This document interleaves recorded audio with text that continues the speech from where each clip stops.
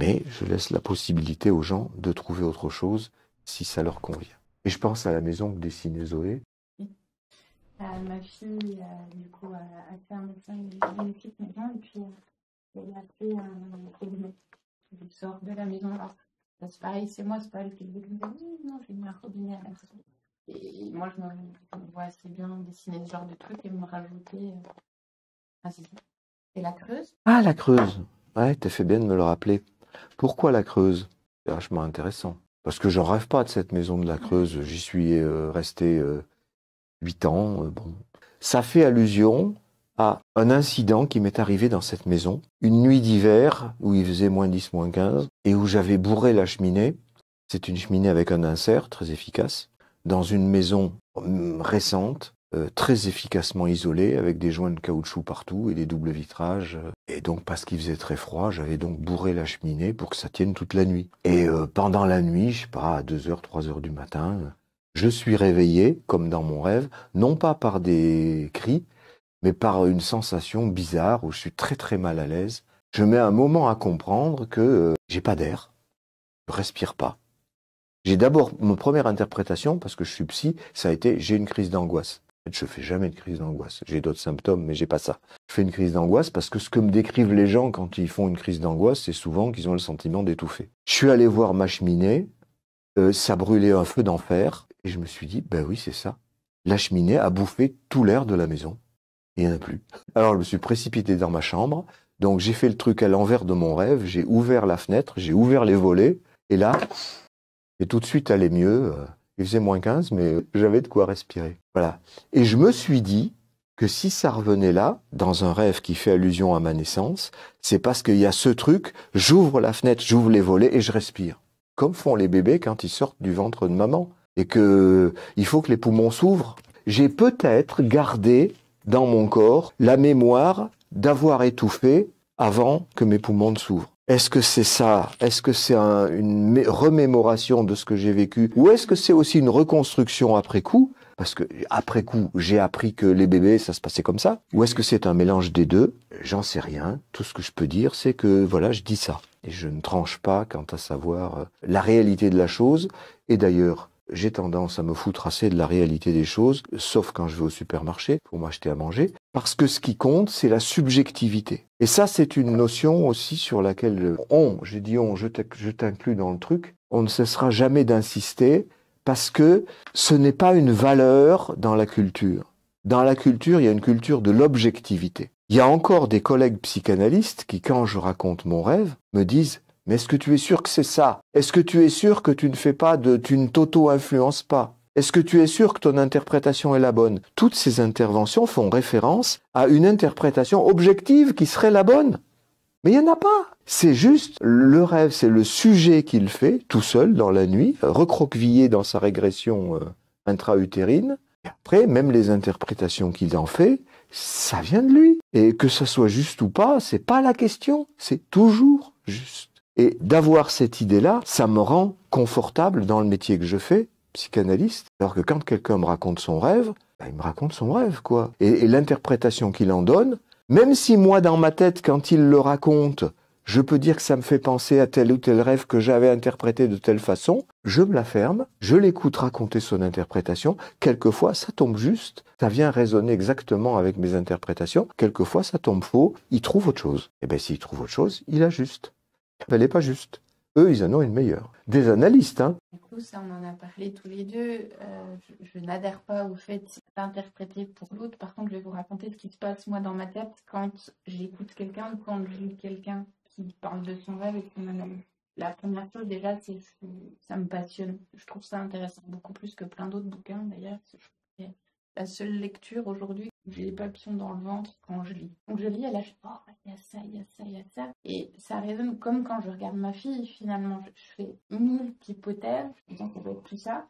Et puis après, assez rapidement vient, mais en fait, Christine, le, gars ou la nana, il parle de lui, pas de toi. Donc, euh, mollo lastico, mais je sens que ça pousse quand même, malgré que je me dise mollo lastico, euh, ici il voit pas, ici, euh, mais c'est moi qui vois ça, c'est pas lui, donc ça compte pas. Mais quand même, j'ai ce, désir un peu de me dire, moi je sais, et lui je vois qu'il sait pas, j'aurais envie de le secouer, allez vas-y, euh. et du coup je le fais pas, évidemment. Mais en tout cas, moi à l'intérieur, je fais tout ça. Et puis après vient le, non mais tu vas te détendre, euh, et que tu sais pas, donc là c'est mon petit policier qui revient bien comme il faut en me disant non t'arrêtes parce qu'en plus t'es sûrement complètement à côté de la plaque. Et puis après il y a ah ouais mais du coup qu'est-ce que je peux dire moi quelle question? Je peux poser qui rien dire bah ça me semble compliqué quand j'écoute. Et en même temps, j'ai ce doute de est-ce que je dis trop, est-ce que je dis pas assez? J'ai peur, je pense, d'influencer, euh, d'influencer l'autre dans, dans, dans son analyse. J'ai pas envie de ça. Donc, euh, alors là, j'arrive à la dernière étape où je me dis, bah, en fait, ça, j'ai pas compris, du coup, après tout. Et je pose une question pour que l'autre me clarifie il est en train de dire parce que j'ai pas compris quelque chose ou que j'ai besoin de détails parce que j'ai pas genre la creuse. Il y a que toi qui peux savoir que tu as vécu en creuse et il y a que toi qui peux savoir le coup du feu. Là on l'avait travaillé donc je, je, je savais. Déjà l'histoire donc je, je, le rappelle mais quelque part ça se passe un peu comme ça quand je questionne quelqu'un c'est puis finalement pourquoi la creuse? Quand vous habitez à Paris et, c'est de là que ça vient et c'est là où c'est fantastique pour moi c'est de, poser ces questions du coup je me dis je limite l'influence au sens où je parle que de moi quand je pose cette question de clarification c'est parce que j'ai, moi, Christine, j'ai pas compris que je la pose. Mais en même temps, l'influence, il y en a quand même, parce que moi, toutes les personnes que j'écoute, bah, j'éprouve quelque chose pour elles. Et inversement. Donc, pour moi, la question de l'influence, elle va au-delà de la conscience je me limite à moi, je parle que de moi, comme ça l'autre, il est libre de, effectivement, il est libre de dire ce qu'il a à dire quand je parle que de moi. Mais en même temps, il y a quelque chose de l'affect, du sentiment, du, un truc qui, qui m'émeut. Hier, j'écoutais quelqu'un, j'ai été émue de l'entendre, j'ai eu la larmiche à l'œil. Bah, du coup, je me suis sentie en communauté cette personne à ce moment-là. Donc, il y a, quelque chose d'autre qui, qui, se passe. Et, et, je voulais revenir aussi sur une chose euh, dont tu parlais tout à l'heure, c'est sur euh, ce qui fait identité finalement, ce truc initial de, euh, de deep castration. Rapidement sur la chose. J'ai un rêve, moi, à ce propos, et c'est comme ça que j'ai tilté le truc. Ou si ça m'est venu, peut-être, c'est plutôt ça, comme ça que ça m'est venu. C'est un rêve assez court où j'ai un sac, j'arrive à une frontière, et dans ce sac, j'ai trois passeports. Les deux passeports de côté euh, vont bien, mais celui du milieu, la photo a été découpée, l'entièreté du passeport. Ça me fait dire quoi? Ben, Trois trucs. Ça me fait penser à un système trois pièces, deux couilles, un zizi. Euh, pour le coup, celui du milieu, il y a une découpe, il y a un trou à la place de, de la photo. Ça fait mon identité, je suis une fille. Je ne suis pas un garçon, il y a quelque part cette place. Et c'est cette différence, quelque part, qui me permet de, de justement mon identité.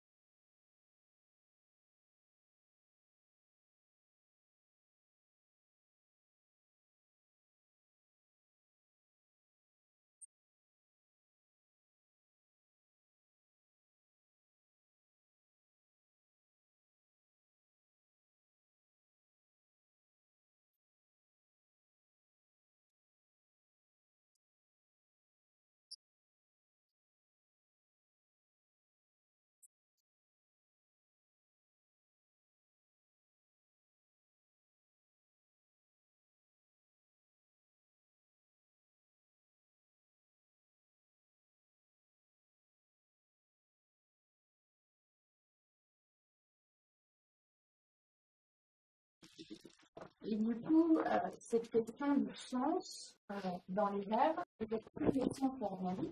La vie, ça n'a pas fait de C'est par ces questions que les moi je mets du sens, parce que je suis pour lui, je pense que moi, je ne pas le sens.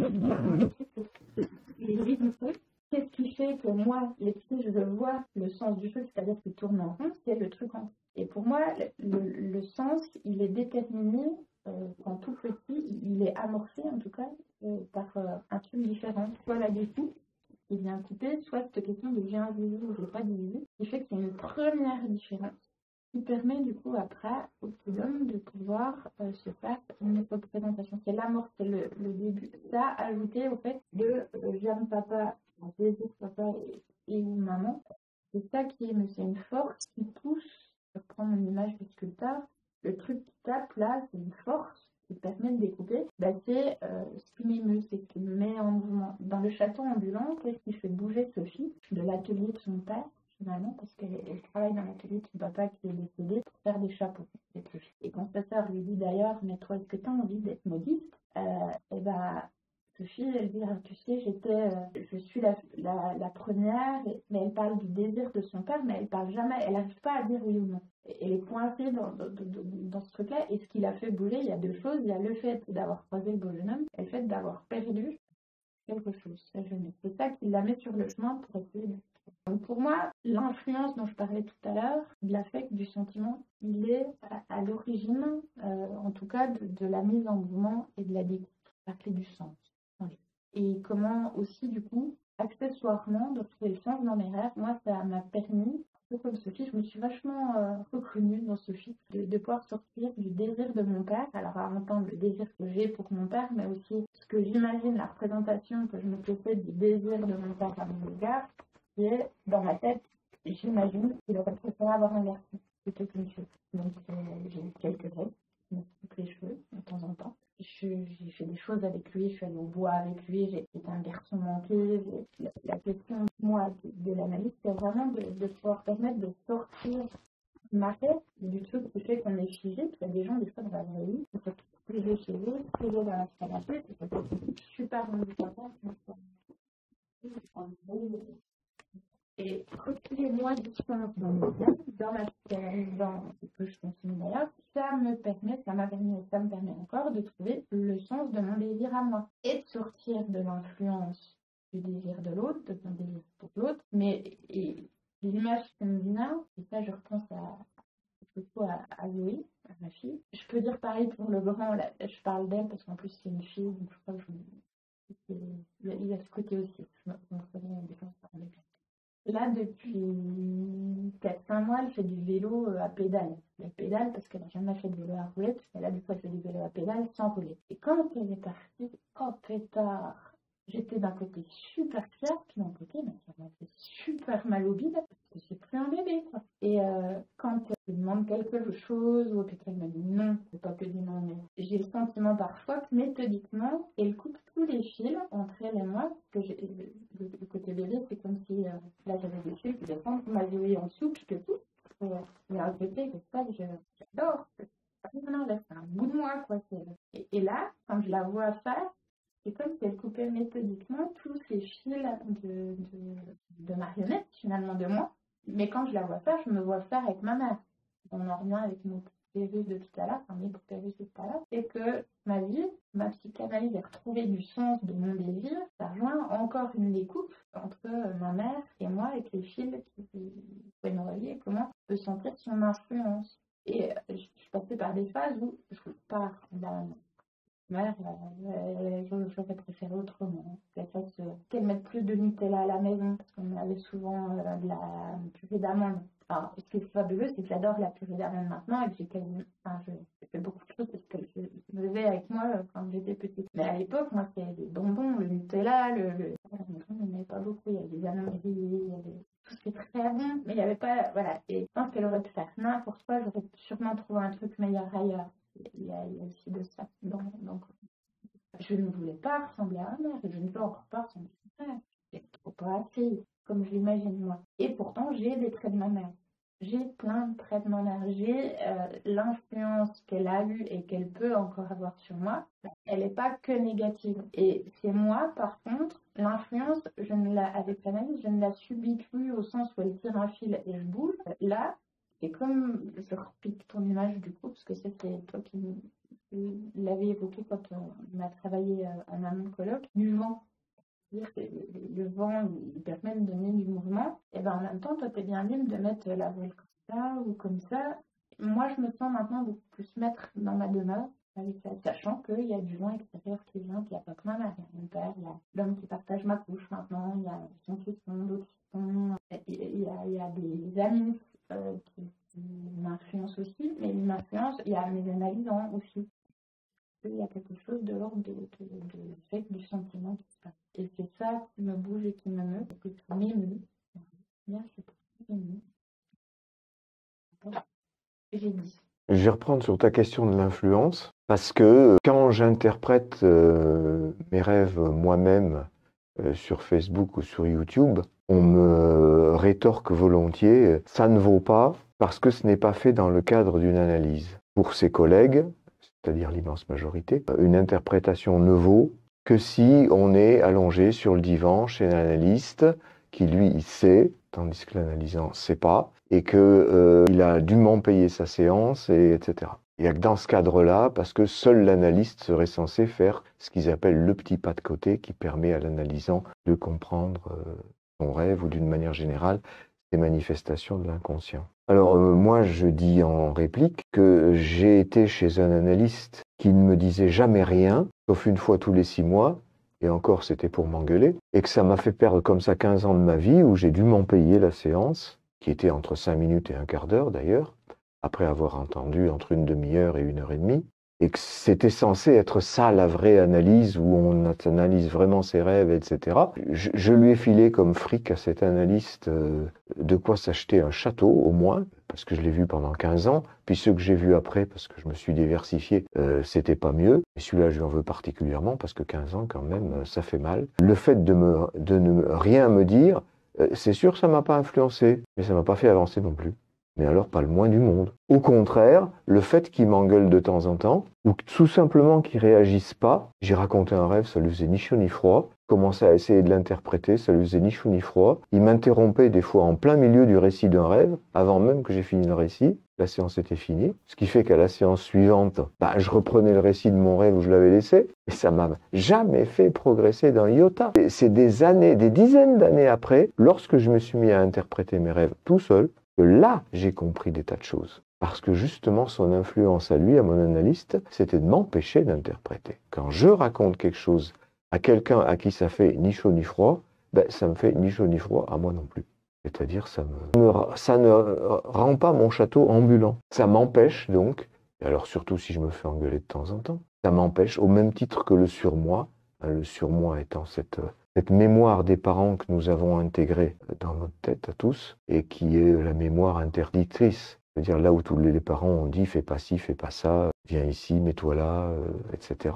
Surtout, va pas dans le lit de maman. Ça fait partie des interdictions, mais qui passe à travers toutes les interdictions qu'on est obligé de faire au bébé. Euh, ne mets pas tes doigts dans la prise, ne fais pas caca partout, mange proprement, etc. forcément, il nous en reste une trace. Il y a eu cette influence des parents. Et puis heureusement, qui a eu cette influence des parents. Sinon, on en serait encore à faire caca partout, à manger salement, et, à réclamer un jouet en pleurant parce qu'on ne l'a pas eu. Donc, euh, l'influence est nécessaire. Et quand je vois tous ces collègues qui me reprochent le fait que j'influence les gens qui font des rêves qui finalement ont la même structure que le mien, parce que c'est pour ça qu'ils font des rêves qui ont la même structure que le mien, hein, c'est parce que je les influence, parce que je publie mes rêves. Je ne devrais pas publier mes rêves, il y a des gens qui me le disent ça parce que ça va faire de l'influence pour les gens. Au contraire, les, analysants que je vois, moi personnellement comme analyste, quand ils ont lu mes rêves, ils n'ont pas tous lu mes rêves, hein, mais quand ils l'ont lu, ils me disent Putain, l'ouverture que ça m'a fait quand j'ai vu vos rêves. Ah, on pouvait penser ça. On a le droit de penser ça. J'imaginais pas que c'était possible. Et du coup, ça leur fait faire des rêves qui sont les leurs, mais ça leur a ouvert une porte. L'influence, il y en a une, c'est une influence positive, au sens d'avoir ouvert des portes au lieu de les fermer. On peut continuer à ne pas être d'accord avec moi, ça fait partie d'une société libérale et démocratique dans laquelle chacun pense ce qu'il veut. Mais justement, le fait qu'on m'envoie des arguments fait que je renvoie des contre-arguments, ce qui fait que on discute au lieu de se foutre sur la gueule ou de s'exclure mutuellement, sachant que j'ai été exclu de pas mal d'endroits, dont des hôpitaux où je faisais un travail remarquable, mais où on m'a interdit de le faire parce que c'était pas dans la norme. Même si j'avais des résultats spectaculaires, on m'a eu interdit de travailler et dans d'autres cas viré parce que ce que je faisais, ce n'était pas ce qui était attendu par la norme. Par exemple, je travaillais pas forcément dans mon bureau avec des enfants dits autistes qui avaient la bougeotte et qui étaient incapables de tenir dans une pièce et qui m'entraînaient tout le temps euh, dans les escaliers, dans la cuisine, dans les chiottes, euh, partout où ils avaient un intérêt. Et c'était la seule façon qu'ils avaient de me communiquer leur intérêt pour les choses puisqu'ils ne parlaient pas. Donc moi, je les suivais parce que je m'intéressais à eux. Et ça, c'était interdit. Il fallait que je travaille dans mon bureau. J'en ai encore gros sur la patate, même 20 ans après. Et je dirais même chose pour les écoles de psychanalyse, donc qui ne supportent pas que je raconte mes rêves, qui ne supportent pas que je parle de moi tout simplement, sachant que la psychanalyse a été inventée euh, par le père Freud du jour où il s'est mis à parler de lui, c'est-à-dire du jour où il s'est mis à raconter ses rêves dans un bouquin qui s'appelle La Traumdeutung, en français La science des rêves. Donc je suis très étonné que de nos jours, pratiquement personne ne raconte ses rêves. Il y a d'autres gens qui s'y mettent, hein, notre influence. Donc l'influence, ça peut être pas, pas mal, finalement. C'est pas moi qui interprète les rêves des gens, c'est là aussi je suis la règle du père Freud. Ce qui distingue la psychanalyse de tous les autres systèmes d'interprétation, c'est qu'on confie au rêveur le soin d'analyser son propre rêve. Quand je cite cette, euh, phrase dans un colloque ou à des collègues psychanalystes, ils ouvrent tous des, des yeux ronds parce qu'on dirait qu'ils l'ont pas lu. En tout cas, ils l'ont pas. Ils l'ont pas retenu. Pourquoi? Parce que le père Freud, il n'a pas toujours respecté sa propre règle. Voilà, il est 11 heures. Richard, est-ce que tu penses avoir encore des choses là pour dire Oui, j'avais pas tout à fait fini mon propos.